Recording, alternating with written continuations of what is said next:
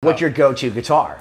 Honestly, my favorite guitar, something I've been playing for 20 plus years, is a Les Paul Special. Just a $700, you know, hunk of wood, nothing fancy, gets the job done, sounds great. I like different flavors of guitars. I like to have a Les Paul, I like to have a Strat, a Tele. You know, you know when you're trying to achieve those sounds in a song, in a recording, they're just colors, paintbrush colors, you know what I mean?